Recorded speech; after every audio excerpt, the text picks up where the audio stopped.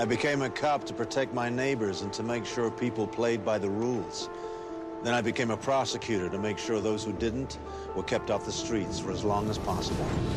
But over the years, I found that a trial is rarely a search for truth, and justice is often handcuffed by politics and ambition.